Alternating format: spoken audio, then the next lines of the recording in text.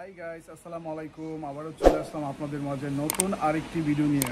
আর আজকের video topic হচ্ছে, আমাকে অনেকে জিজ্ঞেস করে যে, ভাই যদি মালয়েশিয়া থেকে টিভি বা ফ্রিজ বা ওয়াশিং মেশিন এইগুলো দেশে নেই কত টাকা ট্যাক্স লাগবে?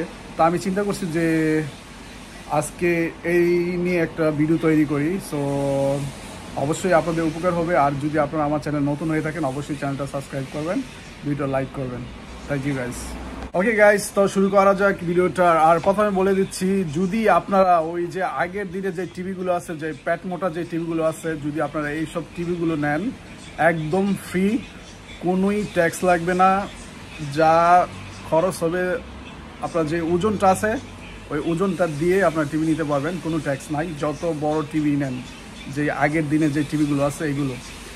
আর যদি আপনারা এখন বর্তমানে যে এলসিডি এলইডি প্লাজমা প্লাজমা নাই এখন বর্তমানে এলসিডি এলইডি এলসিডিও নাই এলইডি আপনি উনত্রিশ ইঞ্চি পর্যন্ত ফ্রি ডিউটি ফ্রি এই জায়গার মধ্যে কোনো কোনো কোনো কিছুই ট্যাক্স নাই, উনত্রিশ ইঞ্চি পর্যন্ত কোনো ট্যাক্স নাই। আর যদি আপনারা চব্বিশ, উনত্রিশ, আঠাশ এগুলো নেন, কোনো ট্যাক্স নাই। আর উনত্রিশ ইঞ্চির উপরে যত বড় টিভি নেবেন, সব টিভিতেই ট্যাক্স আছে।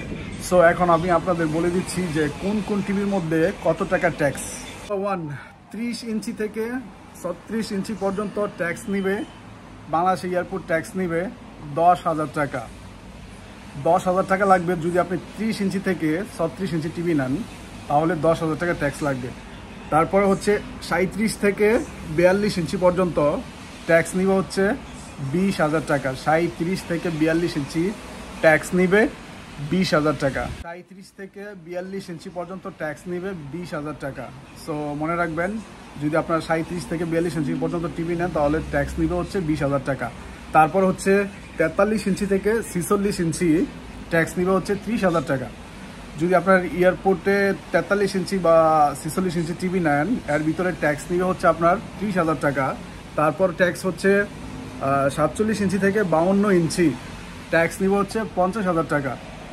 সাতচল্লিশ থেকে বাউন্ন ইঞ্চি ট্যাক্স নিবে হচ্ছে পঞ্চাশ হাজার টাকা, তারপর হচ্ছে তিপ্পান্ন থেকে পঁয়ষট্টি। আপনার তিপ্পান্ন থেকে পঁয়ষট্টি ইঞ্চি টিভি যদি নেন, আর ট্যাক্স নিবে হচ্ছে আপনার সত্তর হাজার টাকা। সত্তর হাজার ট্যাক্স নিবে পঁয়ষট্টি ইঞ্চি টিভি পর্যন্ত। পঁয়ষট্টি ইঞ্চি টিভির উপরে যত বড় টিভি নেন আপনি, তার ট্যাক্স নিবে হচ্ছে নব্বই হাজার টাকা। সো আপনি যত বড় টিভি নেন four K smart TV USD যত বড় টিভি নেন স্যামসংয়ের এক মানে বিশ লাখ পর্যন্ত টিভি আছে। যত বড় ট্যাক্স টিভি নেন, আর ট্যাক্স নিবে হচ্ছে মাত্র নব্বই হাজার টাকা। ওকে অনেকে আমরা হোম থিয়েটার নেই। হোম থিয়েটার চারটা স্পিকার যেগুলো দাঁড়া করা থাকে হোম থিয়েটার যেগুলো, চার স্পিকার যেগুলো, এগুলো যদি নেন, তাহলে আপনার ট্যাক্স নিবে হচ্ছে আট হাজার টাকা ট্যাক্স নিবে। বাংলাদেশি টাকায় আট হাজার টাকা ট্যাক্স নিবে, বাংলাদেশ এয়ারপোর্টের মধ্যে।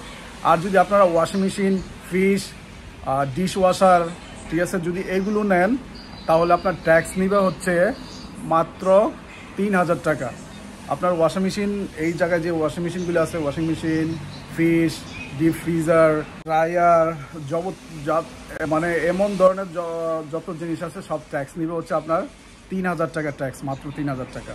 ওকে এবার বলে দিতেছি যদি আপনারা এয়ার কন্ডিশন নেন এয়ার কন্ডিশন এসি নেন আপনারা আহ, বাংলাদেশের ভাষায় বাংলাদেশে মানে বলে ওয়ান টন এই দেশে বলে ওয়ান এইচপি তা ওয়ান টন যদি নেন তাহলে ট্যাক্স নিবে হচ্ছে আপনার সাত হাজার টাকা। যদি এই দেশ থেকে বাংলাদেশে এয়ার কন্ডিশন পাঠান, তাহলে ট্যাক্স নিবে হচ্ছে সাত হাজার টাকা। আর যদি দুই টন নেন, তাহলে ট্যাক্স নিব হচ্ছে পনেরো হাজার টাকা। দুই টনের উপরে যত বড় নেন আপনি, তার ট্যাক্স নিব হচ্ছে বাংলাদেশি টাকায় বিশ হাজার টাকা। সো কেয়ারফুল আর আমরা বাঙালি যারা আছে, এত বাড়ি জিনিস নেই না ওয়াশিং মেশিন আপনার ফ্রিজ এগুলো তো নেই না। আচ্ছা তাহলে বলে দিলাম। আর যাবত যাবতীয় যত ছোট ছোট জিনিস আছে, যেমন রাইস কুকার ব্লেন্ডার অনেক ধরনের জিনিস আছে, ঠিক আছে? এগুলো হচ্ছে সব ফ্রি কিন্তু আপনার লিমিটের ভিতরে নিতে হবে। যদি আপনি দশটা, বিশটা, ত্রিশটা করে নেন, তাইলে কিন্তু ওই না অবশ্যই আপনার ট্যাক্স দিতে হবে। যেমন একটা, দুইটা, তিনটা, চারটা, পাঁচটা, এই ধরনের মানে ফ্রি সব কিছু ফ্রি সো গাইজ যদি আমার ভিডিওটা ভালো লাগে, যদি আপনারা যদি উপকৃত হন, অবশ্যই চ্যানেলটা সাবস্ক্রাইব করবেন লাইক করবেন অ্যান্ড শেয়ার করবেন। আসসালামু আলাইকুম।